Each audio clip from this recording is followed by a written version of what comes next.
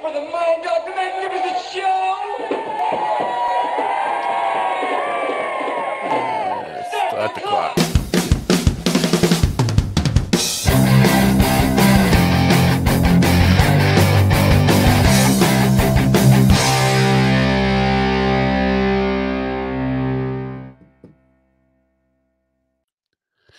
And welcome, my friends, to yet another episode of the Mind Dog TV podcast. I'm Matt Nappo. Thanks for coming. It's great to have you here, as always. We're going to talk about healthcare tonight. Yes, healthcare.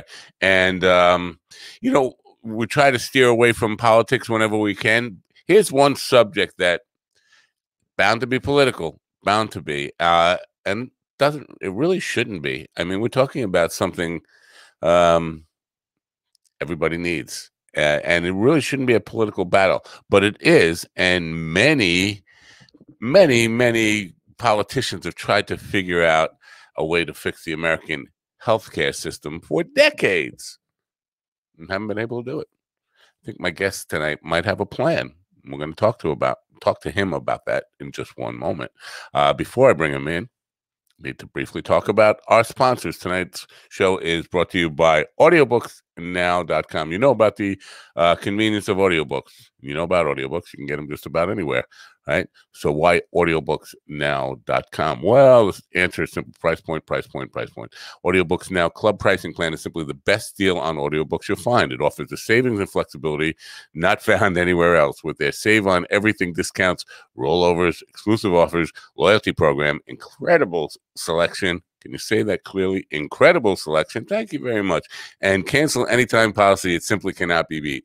Plus, get a free premium audiobook on select titles when you join now. Uh, link in the description. You'll start a 30 day free trial. It's normally $4.99 a month for the club pricing plan. Uh, it's yours absolutely free for 30 days. You can try it. Not happy at any time, you cancel, you won't be billed a penny. You can listen to a lot of books in 30 days, folks. Great deal. Link is in the description. I do appreciate you patronizing our sponsors. Now, uh, onto the program here. To mention, we're going to talk about healthcare. Who needs it? Uh, Ed Eichhorn is a successful healthcare executive and entrepreneur. He consults for medical societies and healthcare organizations through his company Medilink Consulting Group.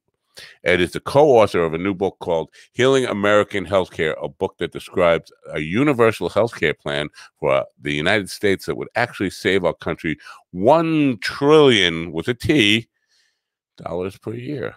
Ed recently founded the Healing American Healthcare Coalition to keep healthcare professionals informed on important research and industry news. Ladies and gentlemen, please open your ears, open your minds, and help me welcome in Ed Eichhorn to the Mind Dog TV podcast. Ed, welcome. Well, thank you, Matt. It's great to be with you this evening. It's my pleasure to have you, and uh, it's an important subject. Um, right? Oh, I got the wrong wrong banner up there. I apologize for that. We're gonna fix that. Get that out of there. Thank you. Uh, we'll fix that while we while we continue to talk. Now, uh, what's wrong with American healthcare? Well, our healthcare system is the most expensive healthcare system in the world on a per capita basis, and we have the uh, shortest lifespan of all of the countries in the uh, United Nations Organization for Economic and Cooperative Development. It's a collection of 37 nations. Our healthcare costs uh, twice as much as the median cost of all of those other nations. And uh, our life expectancy is, on average, about three and a half years less than the median average of those nations.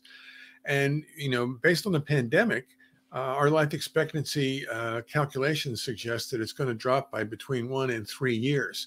Um, so uh, we have great doctors. We have some of the best hospitals and best research organizations in the world in healthcare, and we have the worst outcomes among developed nations. So I, I really think it's time to, uh, you know, take on the really hard task of um, fixing uh, healthcare in America. And um, you know, people who have run for president have been talking about this uh, for a very long time. Actually, Teddy Roosevelt ran for president in 1912 and healthcare was a topic he was very concerned about. He wanted to adopt the German plan at that time. Wow, uh, that is a long time. I, I always thought you were going to say 40 years or so. I did not think we were going back uh, uh, over 100 years. Uh, very interesting. Um, so, uh, but you you you started there, and I think this is it's important. Obviously, it's very important the money we spend but is is that the only place our healthcare system is broken? Because it seems to me uh, this the way we approach medicine is also a pro- problem. The, the, way we our entire approach to healthcare and and just about everything we do in society, I think we have this attitude that there should be a one size fits all solution for everybody, and not everybody is the same. Is there? Am I way off track here? No. Uh, there are three things that we, we need to do in healthcare. And, and from a 100,000 foot level, we need to certainly lower its cost. We need to cover everyone and we need to reduce the bureaucracy around healthcare. the healthcare issues in the United States, if we did those three things, we might actually improve our life expectancy and, and outcomes. Uh, but um, operationally, the problems in healthcare really revolve around when people uh, seek care. Uh, about 29 to 30 million of us um, pre-pandemic uh, had no health care, and another 40 million of us um, had uh, were uh, you know were in plans where they were underinsured. So that's over 20% of the United States uh, population act as if they have no health care, uh, so they don't go uh, to seek care early in the course of a disease. Uh, which means their outcomes uh, are you know challenged by when they actually seek care. So a universal health care system uh, would really go a long way to help people get care when they need it.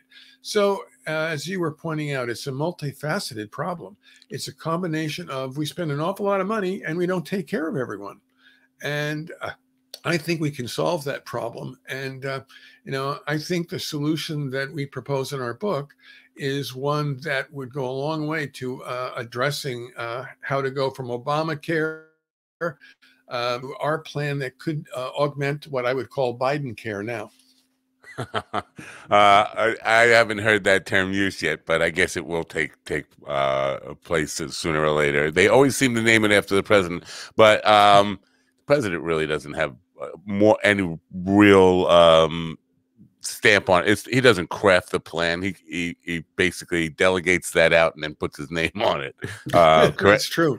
Yeah, that's um, what Obama did. Obama had a, a really strong five-person team that designed most of the program that uh, he embraced. But from what I understand, and you'll correct me if I'm wrong, where Obama went wrong with with his plan was the uh, he let the insurance company write part of the law, and that was the mandate. Am, am I uh, uh incorrect in in that um, uh, assumption? I think I got that from Frontline. well, uh, you know, he had very involved meetings with the pharmaceutical industry and the insurance industry, but uh, and there are lots of uh, aspects to a plan that takes 2000 pages to write so we can find places uh, where the plan bogged down uh, because of the you know length of time it took uh, a year for the plan to actually um, you know get passed but i believe uh, the biggest problem or the biggest failing of the plan is uh, taking the public option out of the plan when it was proposed initially they wanted to write a public option uh, that was uh, in part based on Medicare. And the insurance companies didn't like that because it would be uh, a lower cost competition for them. And in fact, during that time, uh, Sarah Palin, um, who had you know run for vice president and had been the um, governor of Alaska, was giving talks and lectures saying, "Do not support the public option because of death panel uh, death panels." Death panels. And, I remember that. there were there were no death panels in the bill. There was counseling for families and people uh, who were in hospice care about what their options were, uh, and a physician uh, or a medical professional could be reimbursed for providing that sort of uh, counseling. Uh, and what happened was she was giving those talks, and congressional leaders were going back to their districts for town meetings, and the questions about the death panels erupted and uh, the leadership, uh, especially the Republican leadership, said, "Well, we, we really can't have that." So um, the idea was that uh, those uh, changes would actually bring uh, the cost of healthcare down a little bit, and and we embraced part of that and did the calculations actually in our book about about how to do that. Um, I, I almost want because there are uh, people in, in, some of the, the chat rooms spatting off um, ignorant stuff I put it this way. So the idea that um, healthcare and government invol- involvement in healthcare it is a liberal uh, idea. I think you already you already shot that down by bringing up that it was Ted, Teddy Roosevelt was pursuing it. But I think the most recent uh, big push towards it first uh, came from Richard Nixon and then and then Bill Clinton, who and Bill Clinton was far from what you would consider a uh, leftist liberal. He was a very uh, neoconservative uh, Democrat. Am I correct in in both those assertions?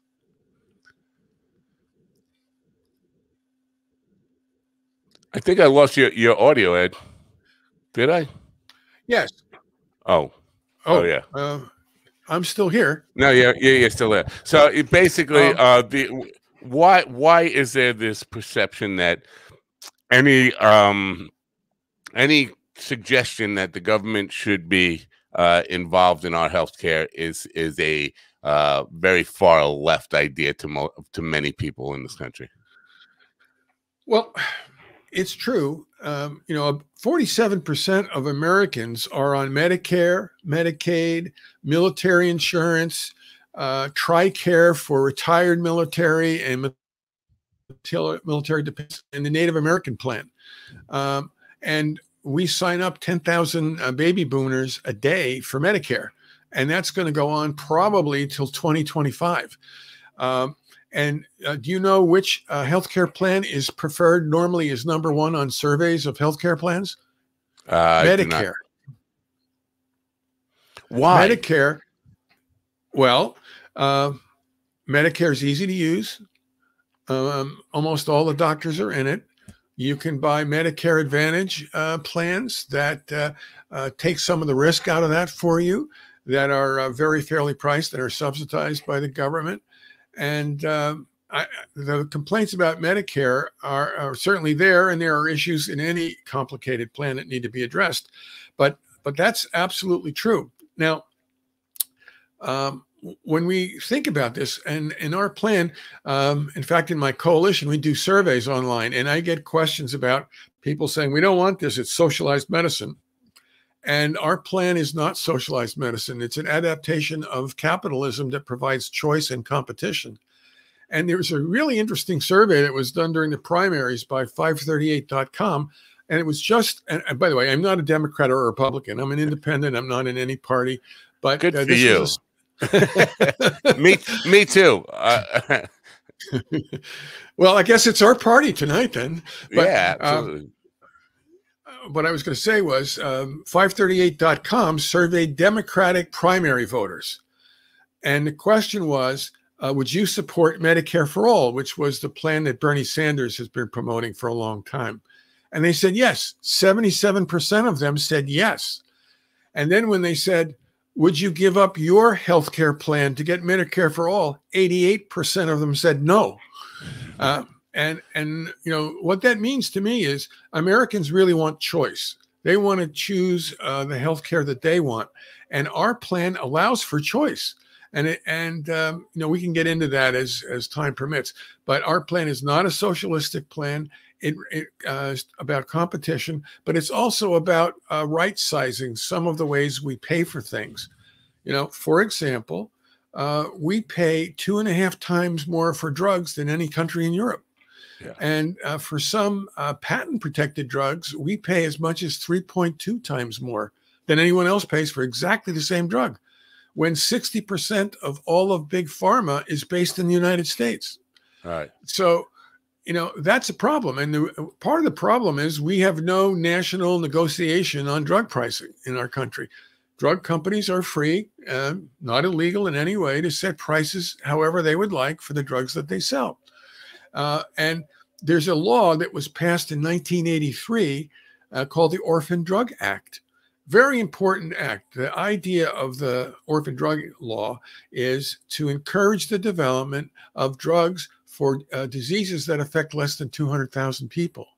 Very good to, to get uh, care for people who would otherwise most likely pass away. Well, since 1983, the cost of orphan drugs has gone up by 64 times. Wow. In 1983, it was about a thousand bucks a month, and, and many of them are a hundred thousand dollars a month now. Holy and to me, that's not fair. no, I, and, I get it. Uh, th- so the pharma thing is definitely out of whack, and uh, the excuse they'll give is re- they're paying for research and development, but uh, the enormous profits they're making. I mean, hand over fist. That that, that makes that uh, uh, argument pretty shallow, doesn't it? I mean, uh, yes, they are paying a lot for research and development, but if they're still making billions, I mean billions of dollars in profit. Um, obviously, the, the scales are a little imbalanced. And when you're talking about something, you know, we can get into the fact of the argument about whether all these medicines are truly needed or, or, or we're just too chemically dependent but the idea that people need these things and they can charge enormous amounts of money for them that's that's just insane what do other countries do about the, the price of drugs to keep their prices down? Well, um, there are a variety of ways that they um, um, control pricing. In Canada, for example, there's a multi stage process where they evaluate new drugs based on their merits. And if it's an incredible drug that does something no other drug does, it's allowed to have the highest price. If it's a drug that's similar to other drugs, uh, they may uh, put it in, in uh, another qu- uh, quartile, so it'd be a lower price. In Great Britain, um, they go uh, much further than I would recommend to control drug prices because in the United States, we just wouldn't accept that. There's an HIV uh, drug that's $39,000 a year in the United States for the care of a person who has HIV. And in Great Britain, that same drug is around $7,000 and they thought it was too expensive. So they took the patent and gave it to uh, uh, other manufacturers to compete, and they're going to spend twenty three hundred dollars for that drug when uh, those companies complete their development. Um, United States, uh, are, you know, I think in an average year, pharmaceutical companies spend somewhere around twenty five billion dollars on TV advertising. Right. And you know, when you watch uh, TV, I, I, don't think you can watch a program without at least one advertisement for uh, a drug for uh, you know care of something. Yeah. Um, you know, I wouldn't there, know. Are, no, I, I, don't have television anymore, uh, but that's one of the reasons. Um, you know, there's a, a, lot of reasons I don't have television anymore. But uh, I, I don't mean to interrupt you, but no, you, go ahead. You, you're talking about what pharmaceutical people uh, companies spend on advertising. Uh, how much do they spend on politicians? well, that oh, that's a very interesting qu- question. Um, uh, do you know how many lobbyists work for the pharmaceutical industry in each pharmaceutical company? I would imagine a lot. 883. now, also, there's only f- 535 people in the Senate and the House. Right. And there are people, of course, at the FDA and uh, um, uh, NIH and, and you know other places in in, uh, in uh, the city. Uh, when I was supporting uh, pharma, uh, uh, medical societies, when Obamacare was, um, you know, being uh, studied and, and, people were debating, um, to go to, I, I would uh, organize fly-ins where, um, you know, they would go with a lobbyist and meet with congressional people. And at that time, during that very contentious time, there were 15 minute slots all day long uh, with the Congress people. And you got your slot, you went to the meeting, and uh, you left, and then someone else came in for their meeting. Um, so there was a lot of uh, interest, concern, and uh, you know, uh, people who wanted their lobbyists to uh, maintain their story. You know, right now, um, I think pharma is in a very strong position, the big pharma, like uh, Pfizer, for example, because they developed a vaccine in an incredibly short amount of time that's going to save a lot of lives. And, um, you know, they're going to, I'm sure, talk about that as uh, President Biden uh, pushes forward with, uh, you know, ways to improve healthcare. Uh, the American Relief Plan does uh, offer the opportunity to improve healthcare for the uh, 30 million people who don't have insurance and uh, for people who can't afford the coverage. So um, there are, you know, lots of wheels turning, I'm sure, in insurance companies and pharma and especially hospitals. Huh? The biggest cost of care we have is actually hospital care uh, in the United States. Um, well, well, I think and this may be a, a side tangent, but here I, I, I have a situation in mind that I think is part of the problem, uh, and it's in Doug Stanhope's book. Uh, oddly enough, Doug Stanhope's a comedian. Uh, he he was going for a hernia operation, uh, and had been for several to a doctor for several uh, hernia operations. Did not have insurance because he's a stand-up comedian, pays for used to paying for stuff for cash he had plenty of cash to pay for the operation. They said they could not treat him because they had had to go through the insurance company, uh, and, and, so they refused to to do the operation, even though he had the cash to pay them because he did not not have coverage.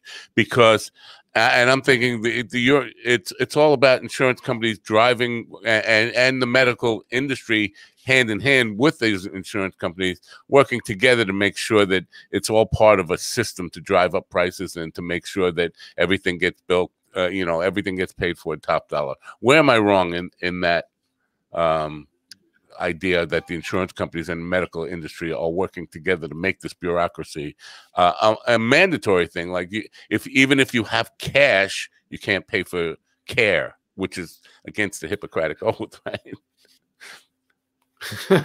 well, there are um, people who come from other nations um, because they need a very specific surgery, and they'll go to a you know a famous clinic or hospital in the United States, and they will pay cash for their their surgery. So I, I don't understand why they wouldn't accept his money. But yeah. uh, the industry actually um, don't work in a monolithic way together. Insurance companies uh, want to control the costs that they pay to doctors and hospitals and clinics because uh, for those of them that are profit oriented companies, they want to make a profit. And, and the insurance industry is unlike other industries in, in, a lot of ways with respect to healthcare. You know, um, if you uh, were a car manufacturer like General Motors or Mercedes or whomever, you make a product, you want people to buy the product, like the product, buy more of your product, tell other people how much they like the product so that you can build up your company. Insurance companies uh, are not aligned with the patient. 90% of the business of insurance companies is with employers. So they have to design plans that meet the needs of the employer. A very small amount of the insurance that they sell, although we're talking about 20 million people in uh, Obamacare, is for individuals. So what we're saying is um, there's basically um, you know two ways if you were starting from scratch that you would design insurance system for a nation. You would use uh, a system like the british national health system or uh, medicare for all where taxation pays for everything.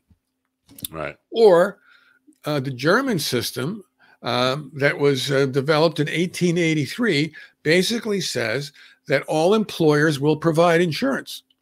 And they actually collect the money, and the individuals can choose from 115 uh, funds that are called sickness funds. They're basically nonprofit insurance companies. And you can choose anyone you want through your employer. Every employer has to provide coverage. We think in the United States, because I don't believe we would ever get to a point where uh, Medicare for all or single payer would actually survive the legislative challenges. I, I think uh, a plan like ours that would include a public option. Uh, employers could be self-insured, use the public option, um, you know, or use private insurance.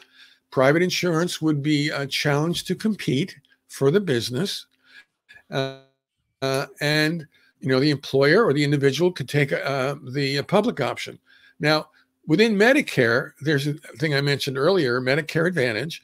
In our plan, there's no Medicare Advantage. However, insurance companies can develop Medicare Advantage like plans to wrap around the public option. So there's an opportunity for them to uh, maintain their business. Over a long period of time, if companies don't choose private insurers anymore, then you would end up having universal health care through the government. But we're saying let's give uh, private insurance an opportunity to compete. Now, our plan with competition and all that for um, employers on a net basis because all employers don't provide insurance now, would save the uh, economy about $180 billion a year. And at the same time, about 15% of the people who uh, have Medicaid work for employers. And now their employers would have to provide the coverage. That would save the government another $180 billion. Uh, and you know you can do you can go right down the line. Uh, if you use a plan like that for uh, states and federal government you'd save another 35 billion. There's about 40 billion you could uh, encourage doctors to uh, save money on waste. And you can go right down the line. You can save about 70 billion 170 billion on uh, pharmaceutical uh, contracting. And if we reduce bureaucracy um, that would be an incredible help. In in japan as a, a comparison the Japanese economy spends about $50 a person or 3% per capita on paying uh, medical bills. We spend $240 a person to pay medical bills. You know, over the last, and I'm sorry for all the numbers, but over the last um, 10 years, uh, we've increased the number of medical coders in the United States from 70,000 to 170,000. And for every doctor working in healthcare in the United States, there's 15 other people working in healthcare, and only half of them actually see patients.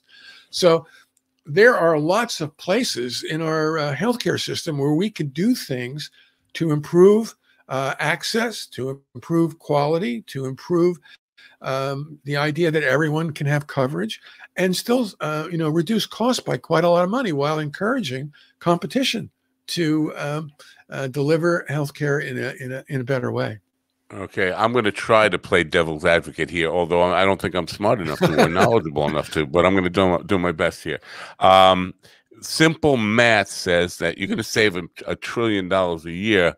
That somebody's that's taking a trillion dollars out of somebody's pocket, or or even if sure. it's many pockets along the way. So those people are going to be extremely resistant, and being considering it's a, a trillion dollar uh, funded uh, thing entity out there that you're fighting against, they are very well, well prepared to, to kind of squash any sure. ideas that you might have towards this from ever being heard by people who can make it reality.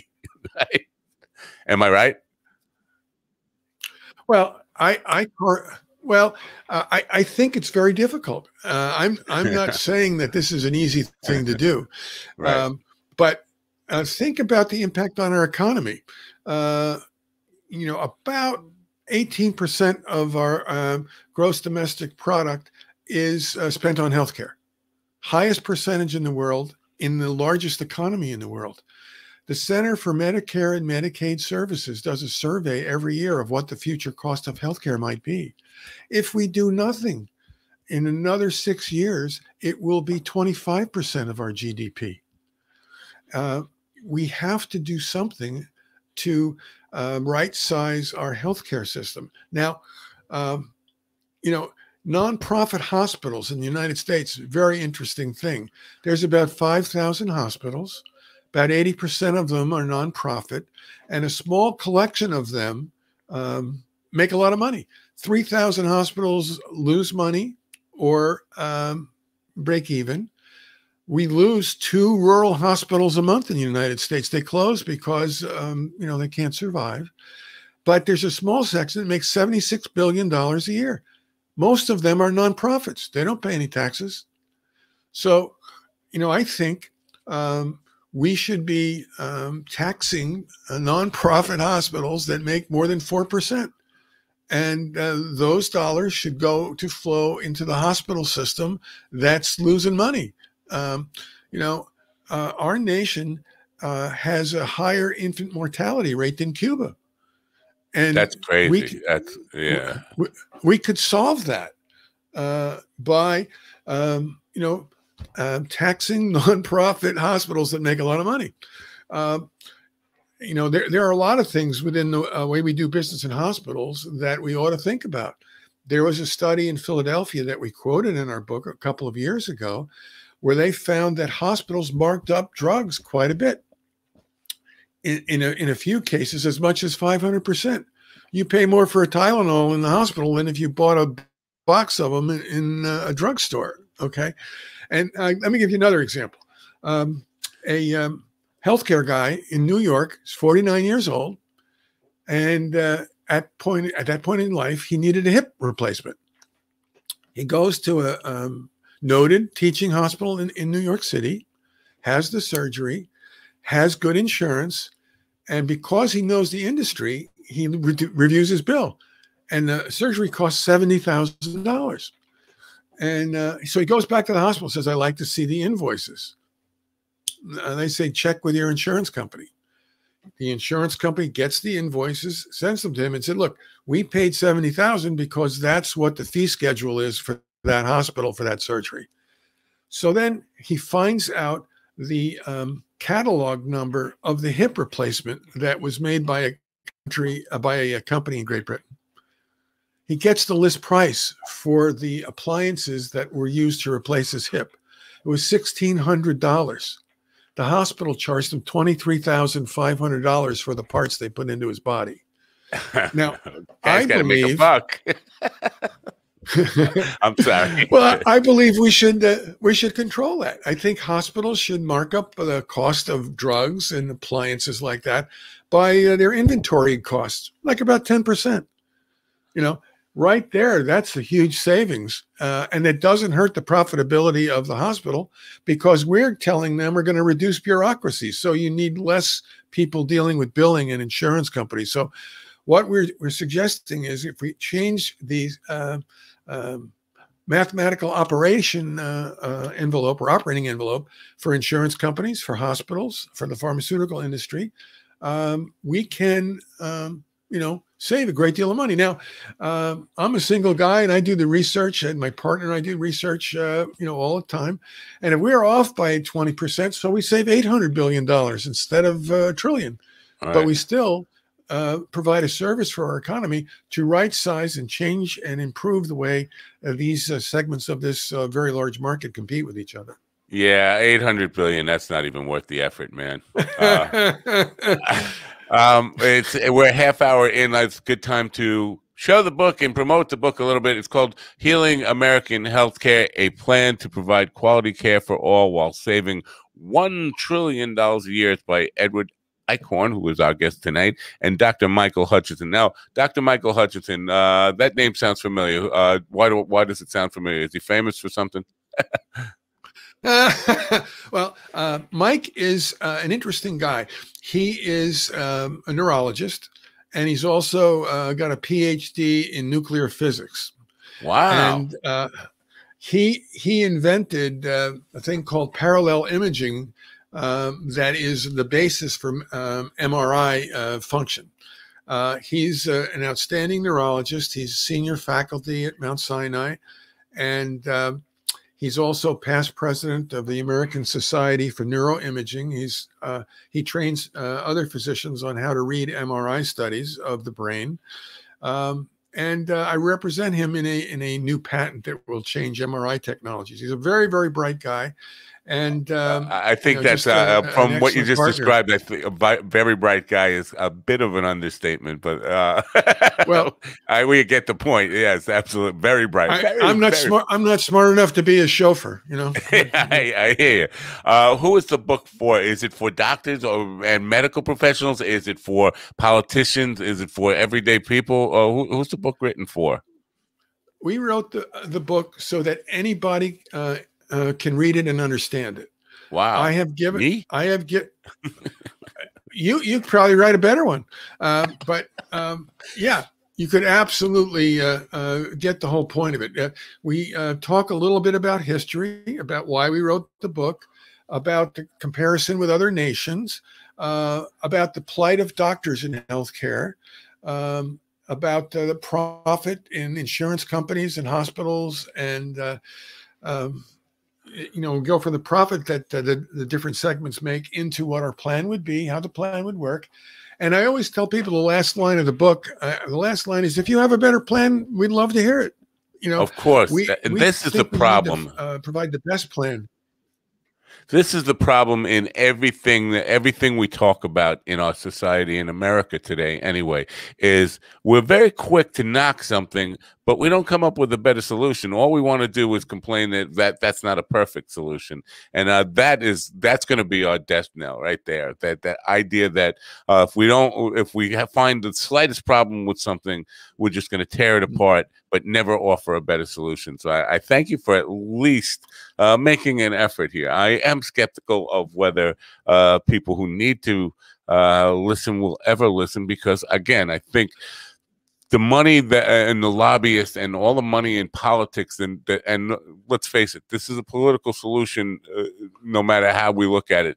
Even though it, it shouldn't be the politicians are in control of this. And as long as the people with the money are in control of the politicians and the politicians control healthcare we're going to be stuck in this um, battle to, to line more pockets rather than battle to take care of people. Um, but i noticed we've been talking about hospitals and all this stuff. We haven't really even mentioned nursing homes. And I think healthcare for the elderly and the way we approach it. And I'm not, I don't know, I'm not an expert in this, but I have a feeling that in other countries, they are not so quickly uh, inclined to uh, ship their uh, old people off uh, to have somebody else take care of them uh, on, on, you know, and forget about them in, in institutions like this. Am I wrong about that? Um, well, I, I think uh, there are lots of different ways the countries that I've read about uh, uh, care for the elderly. Um, there's a big movement in elder care in the United States now to uh, uh, care for people in their homes whenever possible. Yeah. Uh, and that goes for uh, disabled people as well. And um, a good thing about the infrastructure bill that the Biden administration has proposed is there's $400 billion in the bill as it's currently configured uh, to improve nursing home care and to uh, right size compensation for the people that deliver care in the home and in the nursing home. Uh, and I think that's a big issue. I mean, I've always thought if you worked in healthcare, you ought to be able to have healthcare insurance. And that's not necessarily the case for the people who actually provide care in the home or care uh, in nursing homes or uh, long term care facilities. Um, you know, in my life, um, my mother was um, in a long term care facility for seven years at the end of her life.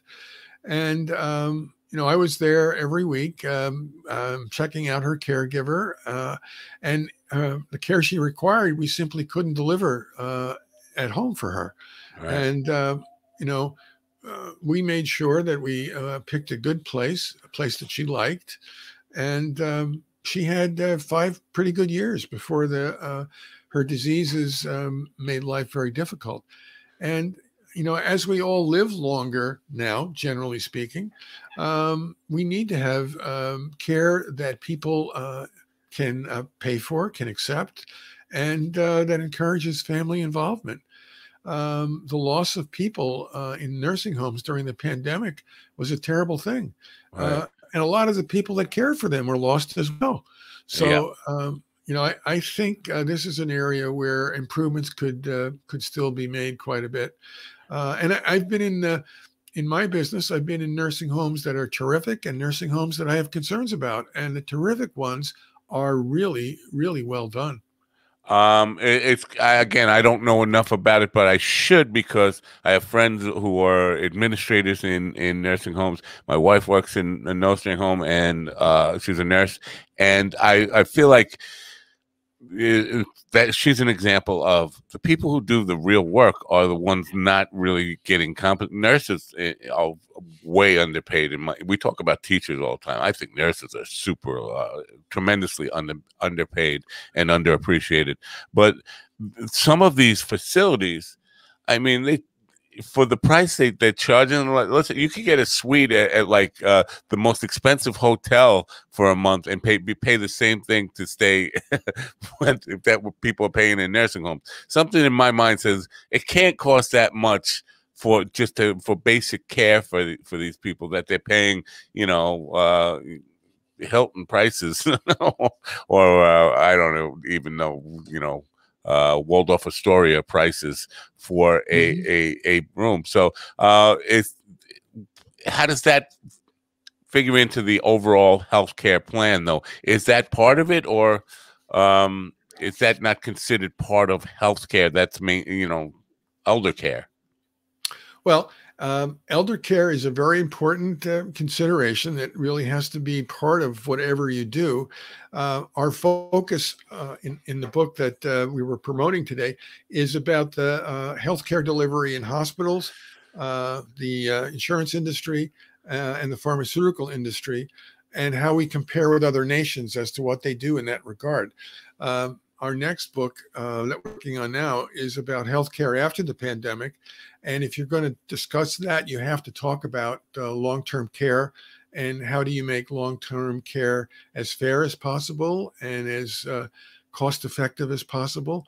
And um, you know spend the dollars in the right place. Uh, nurses are the, the backbone of healthcare. The doctors you know decide the therapy and deliver a great deal of the therapy. But uh, nurses are the people that uh, you know make you uh, able to go home from the hospital when the when your surgery is complete and your or your treatment is complete, and um, you know they, they really run the place. I, I, all the hospital studies I've done have, have uh, observed the you know the great skill and dedication of of nurses and of course of doctors too. Well, uh, you mentioned the P word, pandemic. Uh, I want to go there in a second because I want to uh, ask uh, what we've learned and how we uh, uh, can use what we've learned, if we've learned anything, in the future towards pandemics. But we have some a question from the chat room. Adam is taking his his lead from me and asking very long winded questions, but he's a long winded guy to begin with. But uh, it's a it's a two part. Adam says, "Do hospitals write off the?" It, it's two parts, so be be prepared for this.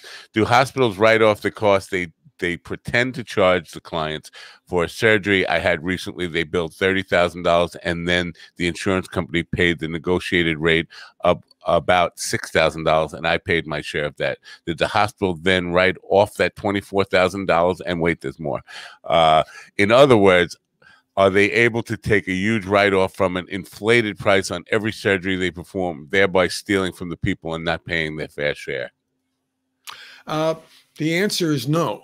Uh, they uh, uh, hospitals and uh, a number of different uh, things in healthcare have a list price and they have a negotiated price, and they book the negotiated price. Hospital write-offs generally are only for uh, care of patients who are uninsured and can't pay the bill. And nationally, they do write off more than $20 billion a year for the care that they provide that's not compensated care. But they don't actually book the um, the list price. Uh, they book what they've been paid for wow. whatever they provide. God, wow, that that's interesting. That's not, not something I understood, and I'm not, still not sure. I have to kind of uh, kind of dissect that a little bit. But so uh, the idea that um, price gouging and, and price inflation goes on in in hospitals, it, that's that's a um, that's a real thing, is it not? Well, uh, you know, in in uh, in healthcare, as in many other industries, you you can price according to your contract and your um, position in the market. So uh, there's been, been a move in hospitals over the last several years to both horizontally and vertically uh, consolidate. So what that means is, uh, um, particularly where I live in New Jersey, a number of large hospitals have bought other hospitals. And so they have a number of hospitals under the same umbrella. That's the horizontal uh, integration. Vertically, they buy uh, physician practices uh, and they buy, um, you know, perhaps an imaging center, stuff like that. And then they negotiate with the insurance company. Now, if you're a freestanding single hospital negotiating with the same insurance company that a system that might have 10 hospitals is negotiating with, you don't have the leverage that the bigger company has. And, and so they have more leverage, so they get a better price. And in hospital, um, you know, uh, conglomerates, many of which are nonprofits, um, their prices have gone up over the last five years in various years, you know, 12, 15, 17% in one year for what the insurance company that they're negotiating with them might pay. On the other hand, single hospital, um, they might have a little price reduction in uh, their because they don't have the leverage. Right. The other thing is um, hospitals um, generally in the past have been able to charge a facility fee. Um, so if they buy a physician's practice and the physician provides a service, there's a facility fee uh, attached to that that they're legally allowed to do. I think facility fees should be eliminated because if if you can get a test, a colonoscopy or an X-ray or whatever it is, down the street at the doctor's office, exactly the same equipment, exactly the same service, and you go to the you know um, hospital-owned practice and you got to pay a facility fee. Why why should you? I mean, I don't think that's good competition. So I think we should, you know, work to eliminate all of those uh, because I just I don't think it's reasonable. Now, right. That doesn't mean the hospital can't charge more money in a contract for because they've either have a great reputation, they're the only people that do that surgery in the, you know, in the service area, whatever it is that their specialty is. I'm I'm not opposed to that, but I I I think uh, there's an issue of fairness that's missing when you you can charge a lot more for very much the same thing. Right.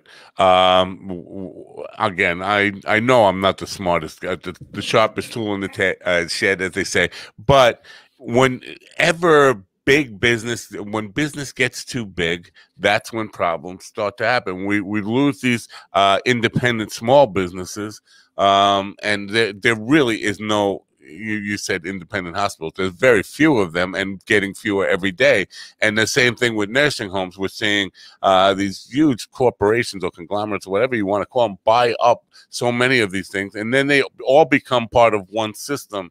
That That's part of the problem, isn't it? So should there be some legislation saying, listen, th- this is not open. This this industry is not open for monopolization or you know even just you buying up huge chunks and mergers and things like that. Or is that eh, that anti-competition and you know are we talking business law then? But I think that's a part of the problem. Is it not? Am I am I way off base yeah, here? Sure. no. Um, it, it's um, you know I'm, I'm an engineer, I'm not an economist, but uh, from an economic perspective or a, a perspective of an economist, uh, you know, when you have a new product area, usually a lot of people are making something in that product area. And over a long period of time or a short period of time, you get to the point where there may be only three or four people making that product because they bought the competition or they had you know better mousetrap, whatever it was. So what happens, uh, I believe, is you get the development of a monopoly or a fun word to say, an op- oligopolistic uh, competition where there's only a few people in it. And oligopolies are uh, consistent in several ways. They move to the same price point, you know, and and um, in that way they function a lot more uh, uh, monopolistically. Um, if I can say that, I don't yeah. think I can say that again. But uh, anyway um, my point my point is that when uh, a merger is announced, almost invariably in any industry that I've read about as a stockholder or, or in business, they say two things. This merger will reduce our costs and uh, improve our ability to compete and lower the price if we need to. Right. In other words, we have bigger volumes, so we can have a different price and we can lower our, our administrative costs or our operating costs, whatever it is. I don't buy so it. I, th- I think mergers, I think we should allow anybody to merge whoever they want. But I think we have to have a price control, which is not you know totally capitalistic but we need to have a way to say if you're going to have an, a broken arm fixed in um, california California, it's going to be the same price as it is in Iowa or New York City. Now you can go ahead and combine and lower your cost to operate, but you're not going to get any more money for what you do. You get the you get whatever you get for the for the service that you provide, and you know you can compete for more service. You can do a better job. You can increase your volume, but you don't get to say, well, we're going to go to the insurance company. We're, we're going to tell them we have to mark up the price by ten percent because we can. Yeah, that's the challenge. Uh, whenever I hear any any business person say they are interested in uh, lowering prices to stay more competitive, I I always think they're lying. I always it just it doesn't it doesn't and, come, and they, come they could be. Yeah, I know we want to stay competitive, but the part about lowering prices, I don't think anybody ever wants to do that. I mean, it's, it's just a, it, well, it's it's it, not in the capitalist happens, mindset. it happens at the end of the life cycle of a product. Right. Okay. And, and that's because there's no new capitalization. You know how to make whatever it is you make. And somebody else invented the better mousetrap, and you're going out of business. Right. The demand So goes that's down. the- Absolutely. So that's when their prices go down, usually. Right. Pandemic stuff. Did we learn anything in the last eh, 15, 18 months, whatever it's been, uh, uh, th- that can be applied to the future? And uh, how does that, if we did learn anything, how does that uh, fit into the plan that's laid out in the book, or did you not go there in the book? Well, uh, we wrote the book before the pandemic. Uh, Okay. The next book is talking about after the pandemic. Uh, I often, in answering this question, I often think about the blogs that I write that are available on my uh, healingamericanhealthcare.org website. And one of the blogs I wrote a few months ago that uh, crystallizes, in some ways, some of the concerns that uh, elected officials are learning is the title of the blog. And the title is If You Ignore Science, It Doesn't Go Away. and uh, now, and it, now I, I, I, uh, I, I don't want to pick on anybody. I'm just talking about numbers now. Um, you know, in uh, Taiwan, they followed the mitigation strategy to the letter. Masks, social distancing, ones don't go to big crowds. Okay. By the beginning of November, um, I think they had 670 cases in a population of 24 million, something like that. Florida has a population of 21 million. They had a million cases uh, in the same time frame, generally, and there could be a lot of different reasons for that.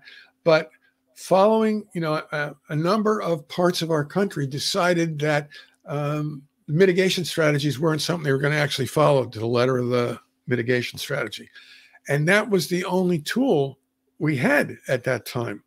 Um, so, you know, one of the things that's been learned, and there was a, um, you can go online to 60 Minutes. There's a great uh, documentary uh, from their last uh, last program that talks about uh, the strategies that are now being used to consider designing um, vaccines that will prevent all coronaviruses from impacting an individual if they can do that, that's fantastic, and and will change uh, the way uh, we will see future pandemics, and and the way they're developing vaccines now. That that could be done uh, much more rapidly than the ten or twelve years or longer that it has taken in in the past. You know, Hmm. um, I think we've learned that uh, we have to redesign the airflow in hospitals and, and other buildings and, and things like that. Um, we've learned that telemedicine is a good thing to do, and you can uh, provide expertise along great distances by um, seeing each other as we can see each other now. Um, I, I think that's an important uh, uh, lesson that's been learned. Um, you know, I, I think um, it's important to deal with these basic issues of air handling, airflow. Um, how do we make um, the air clean in, in hospitals? How do we protect uh, our uh, people that work in hospitals? Well, you know, we need to manufacture, uh, you know, uh, all of the disposable items, PPM, and, and all that stuff. We need to be able to make it in our country so that when we need it, we can get it. Um, and um, you know, those basic kinds of things I think are very important as we think about the future of this. You know, some of our schools will need to be redesigned so that when we need to have the kids spread out more, they can still go to school. Right. Um, you know, things like that. There are many, many lessons in uh, a number of different career areas that uh, uh, we need to take to heart and and use going Right. forward. Uh, Uh, I get what you're saying now, eh, but it, when I listen to you talk about that, and of course, this is not in the plan in the book because this is pandemic stuff that we were just talking about. But it, it does. Uh, a lot of the things you were talking about are relevant to uh, the stuff that's in the book, which is uh, our broken healthcare system, and that there is going to need be some investment required before we can start to fix something. Sure. And we- we're going to have to. And so, how much of a, Sure. a pain, painful economic bullet in the beginning? To the first bite to, to try to fix this thing, how painful would that be in the plan and that's in the book? I don't think it would be as painful as we would imagine as we begin to think about it. Uh, you know, uh, people of color, for example, or people that live in the inner city, uh, um, you know, have a lot of health issues that are not addressed because of their employment situation or their benefit situation or whatever it is. And if we uh, work to provide uh, you know, a better healthcare base. If, you know, as we say in the book, and many other people have said, healthcare should be a right and not a privilege. It should be a foundation around which people can build their lives and their careers and not have to worry about it. And, um, you know, uh, we think that's possible with our healthcare plan. So if we're going to uh, provide, if I um, may, you know, that basis, go ahead. the the reason that probably isn't going to be uh, possible is that America has fifty percent, uh, at least fifty percent of people like this imbecile. Uh, he's a friend of mine, so I can call him imbecile. But he's saying healthcare is not a right. He's right. It's not. I'm I'm saying it should be. Right. Uh, yeah, but but they they're going to fight uh, tooth and nail. That the the people like him, and there are a lot of him who just think, uh, well, and he, he's got a whole thread there. So this is the obstacle you're facing again. It's not Sure. just it's not just trying to c- convince politicians and all. It's the the grassroots people and the people who are just in this um, idea. Well, I'm not. You know, it's it's somebody looking to take my dime on yeah, curmudgeon idea of. Go ahead. Well, well, you can, you know, tell anyone that a plan like ours that has company requires health care for everyone. For people who have health care through their employment now, it's very likely that over time their cost of health care would drop by 30% and they would still have the same health care they have now. Right. Um, you know, so we're not taking anyone's dime away. We're giving them another two cents uh, in terms of the way we think about our plan.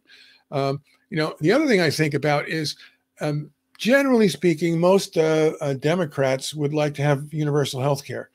And historically, Republicans want to save money uh, in terms of federal and state expenditures. Our plan uh, provides the opportunity for a strategic compromise because people would get health care and we would reduce the cost of Medicaid by about eight, $180 billion a year.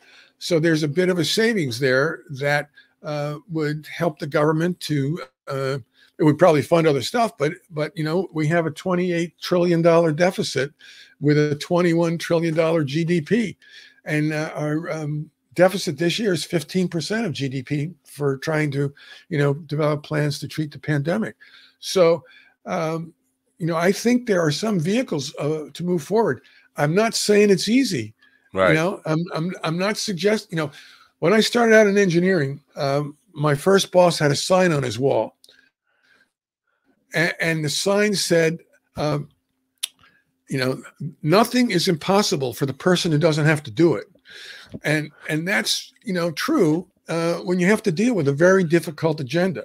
You know, uh, the quote at the beginning of our book is from Winston Churchill, and it's from 1941, and he was in a cabinet meeting. And in the cabinet meeting, his cabinet ministers kept asking him, when are the Americans going to come into the war? And uh, um, Mr. Churchill got tired of being asked this question. So finally he said, the Americans will always do the right thing only after exhausting every other possibility. And that's where we are in healthcare. We've exhausted every possibility. We had the HMO phase. We had the uh, during the Nixon years. Then we had the plans from uh, Clinton. Um, you know, now we have the plans from President Biden.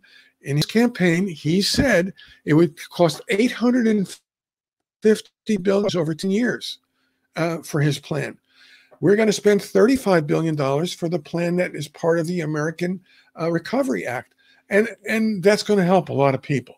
I agree, but we could do all of that if we were able to, uh, you know, have the will in our elected officials to actually do something that would actually cost uh, $10 trillion less over the next 10 years.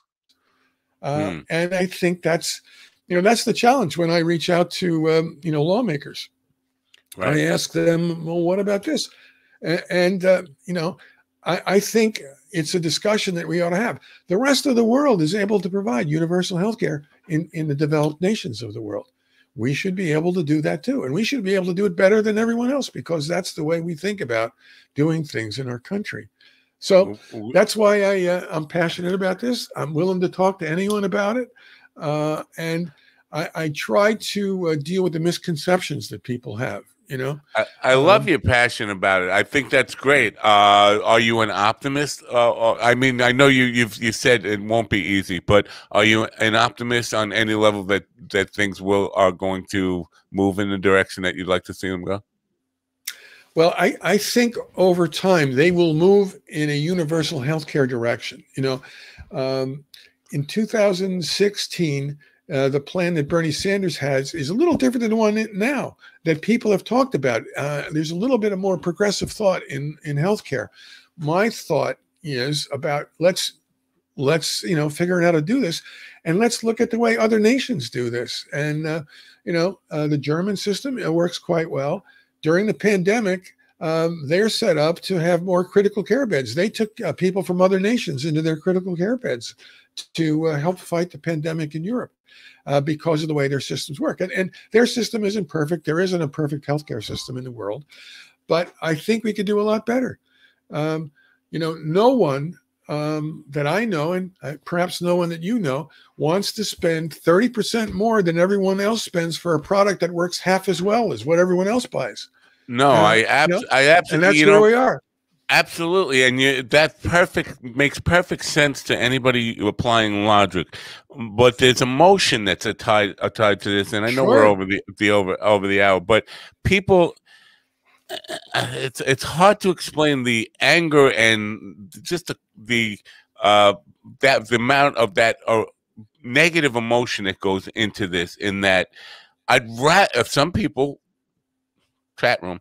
Uh, some people would rather pay that 30% more than to see somebody who didn't work for my dime get getting uh, take take what you know the the idea that and here's here it is people who, uh, healthy people don't need health care but we need the healthy people to pay for sick people now that that's a pretty ridiculous thing because every single one of us is going to get sick at some time and need uh, some form of health care but that that anger, that emotion that I don't want to see somebody using my dime to take care of them, even though even though it's going to save me money, I'd rather pay more and make that person suffer because they they don't work as hard as I do. But um, everybody who works pays for the health care for people that can't afford it that are in Medicaid or Medicare now. Right. I know. We're that. already paying for it. Right. And, and, and what we're saying is what we're saying is uh, the people, you know, um, 40% of the employers employ, uh, you know, like 10 and a half to 12 million people, and they're usually small companies. We need to help them figure out how to provide insurance for their employees. But if you do that, that lowers the cost of insurance for the people that don't want to spend their dime because they're already spending more than a dime on this, uh, on their payroll taxes for this. Right. And we believe those taxes would actually go down uh, if we did what we suggest we ought to do. Uh, and, and, like, you know, it is a complicated thing. People are emotional about this. And, you know, um, everyone who is, uh, I remember being young and healthy back in the Conestoga wagon days a long time ago. Uh, and, you know, I didn't think about healthcare until I got married and we were going to have children. Right. And now, oh gosh, no! Where do we get the, the best guy? Who's oh, who, who's the best guy in the neighborhood that can uh, take care of the kids, and or deliver the uh, the babies?